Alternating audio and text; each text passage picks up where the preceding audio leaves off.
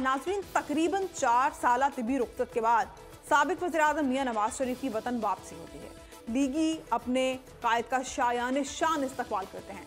मीनार पाकिस्तान पर शानदार जलसा, जमानतों की मंजूरी, छोटी जमातों से इतिहाद, इलेक्टेबल्स की तलाश और शमूलियत, मियाँ साहब का कामयाब दौरा बलोचिस्तान। इन सब मामला के साथ बता नून लीग आम इंतबात के लिए इंतहाई पुरजोश पुरज़म और जीत के लिए बे बेहद पुरुद दिखाई दे रही है, लेकिन गुजशत रोज सियालकोट चेंबर ऑफ़ कॉमर्स में बड़े मियाँ साहब के खिताब में एक बात तो साफ़ ज़ाहिर है कि उनके पुराने जख्म अभी भरे नहीं हैं।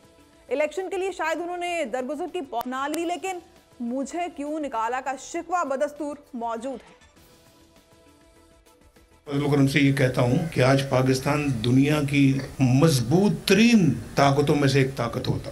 हमने अपने खुद अपने मुल्क को पटरी से वो उखाड़ा है। पटरी से उतारा है उखाड़ा है बल्कि पटरी उखाड़ दी हमने। मियाँ साहब का क्या कहना था? आपने मुलायजा किया उनके शिकवे शिकायत और दुख अपनी जगह लेकिन इसके बावजूद मियाँ साहब के लिए सियालकोट ही में ख्वाजा आसिफ की जानब से एक इंतहाई जज्बाती बयान जारी किया गया। ख्वाजा साहब का क्या कहना था? पहले वो सुन लेते हैं फिर बात करते हैं। उसने चार साल इस मुल्क में जो है हुकूमत की उसमें मुश्किल वक्त आया है कड़ा वक्त आया है कोई बंदा उसके साथ नहीं खड़ा। ये आपकी वफा है कि आपके साथियों ने आपके साथ वफा की। मुश्किल वक्त काटा, कैदे काटी, नैब बुकता आपको मिटाने वाले मिटके, जिन लोगों ने कहा कि हमने नवाज़ शरीफ को फारग कर दिया, उसको मिटा दिया है। नवाज़ शरीफ कभी वापस नहीं आएगा। इंशाला ताला आठ फरवरी को फिर वज़ीर आज़म बनेगा, चौथी तरफ़ वज़ीर आज़म बनेगा। इसके साथ साथ कौदा साहब का ये भी कहना था कि जो वफादार नहीं रहते, उनके लिए मैं कोई लफ्ज़ इस्तेमाल नहीं करना चाहता। तो क्या वो नून लीग में शामिल होने वाले इलेक्टिबल्स के लिए भी कुछ कहना चाहेंगे या नहीं?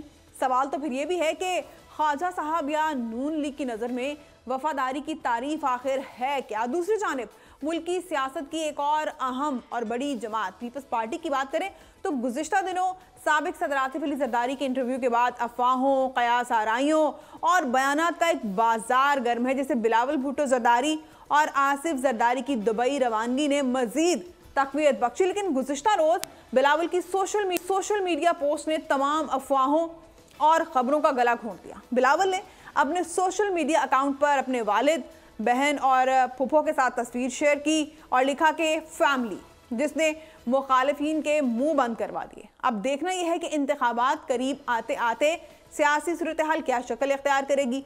आइंदा आम इंतबात का माहौल कैसा होगा?